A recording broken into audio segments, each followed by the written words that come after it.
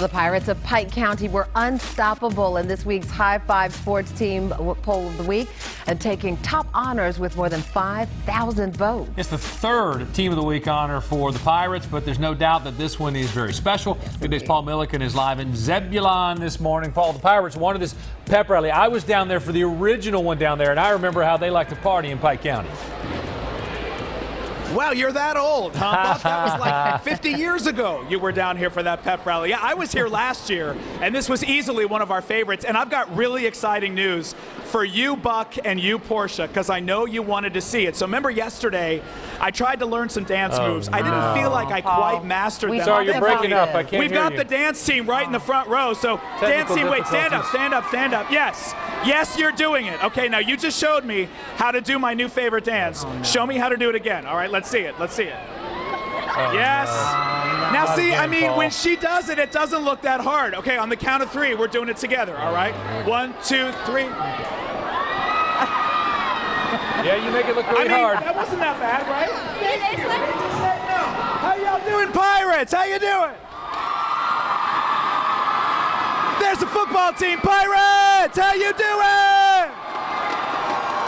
Oh, we love being at this school. Now, of course, we're here to celebrate the football team. But before we get to the football team, we got another very special team right here. Ladies and gentlemen, this is the volleyball team with some amazing accomplishments. So, wait a minute, tell me again. You guys have some pretty amazing accomplishments. Tell me what they are. Uh, we've gone to state for, for the past four years, and this year we're area champs. Wonderful, area champ!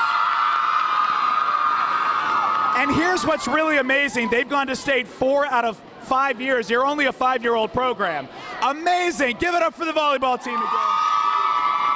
And I'll tell you, I mean, if you really are area champs, you should be able to do this. Let's see, do it. Try it. Come on, come on, come on, come on. Oh, come on. Right here. You can do it.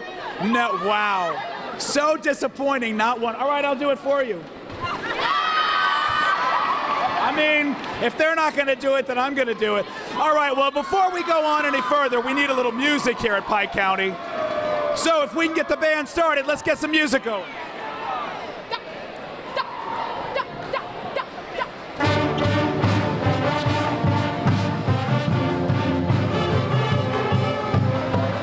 Now wait, looks like the football team's got some moves over here.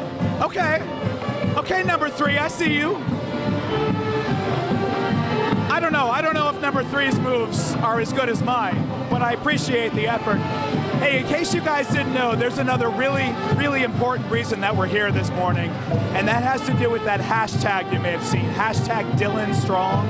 We're going to explain what that means and why this season has been so memorable and emotional for this team coming up in the next hour. Plus, the hand trophy presentation. Stay tuned. All right, thanks a lot. No doubt they have a lot of reasons to uh, try to win this season down in Pike County. Yes, indeed. And coming up tomorrow morning,